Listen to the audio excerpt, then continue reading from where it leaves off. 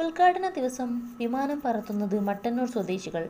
കണ്ണൂർ അന്താരാഷ്ട്ര വിമാനത്താവളത്തിൽ ആദ്യം ഡോണിയർ വിമാനമിറക്കിയ വൈമാനികന്റെ മകൻ ഉദ്ഘാടന ദിവസം വിമാനം പറത്തും.